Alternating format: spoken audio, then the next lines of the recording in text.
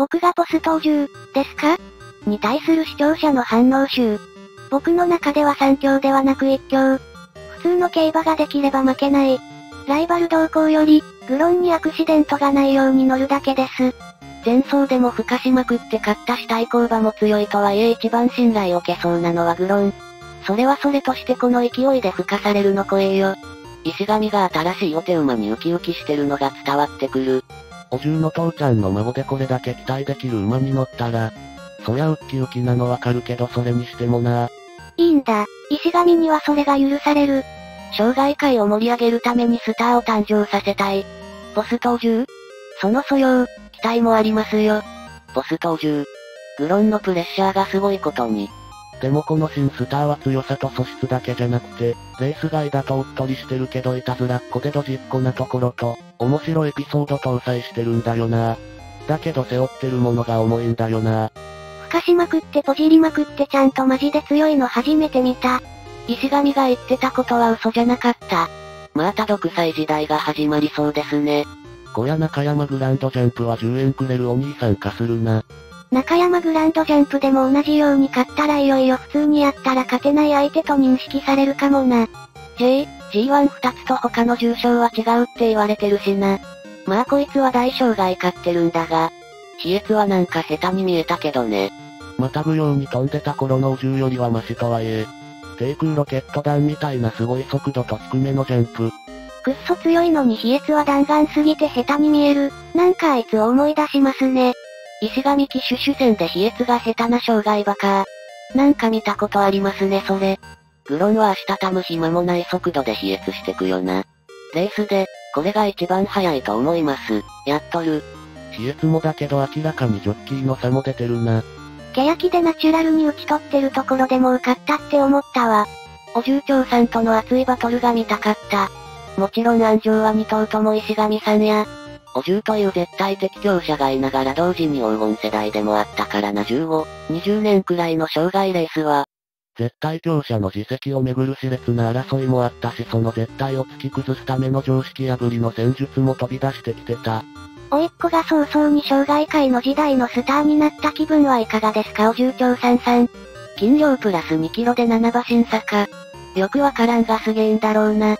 グレード制以降で JG1 勝利後に障害重賞勝った馬は、名称脱菜、お重長さん、アッププーデート、TM ドラゴン、豪快、だけだったので斤量プラス2キロは結構大きい。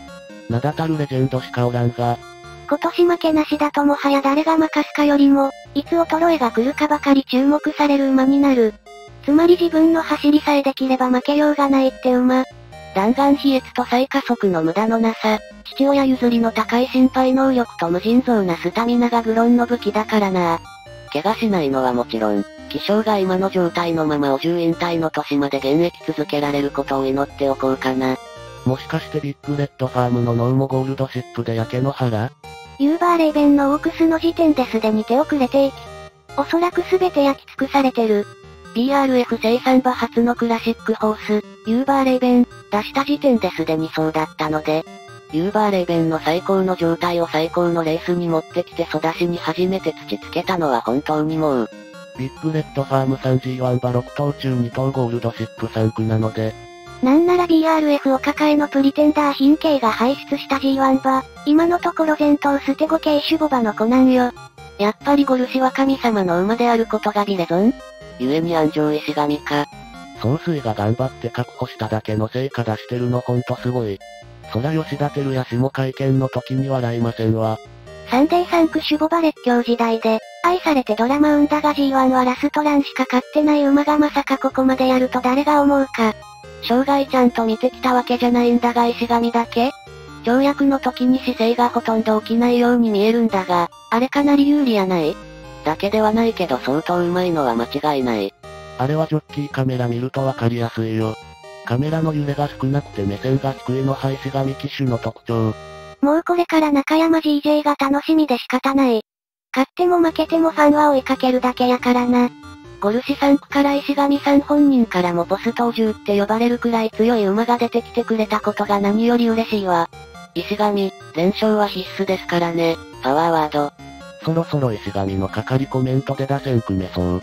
僕の中では3強ではなく1強。普通の競馬ができれば負けない。連勝は必須ですからね。ボス登場その素養、期待もありますよ。負けたら乗り役のせいです。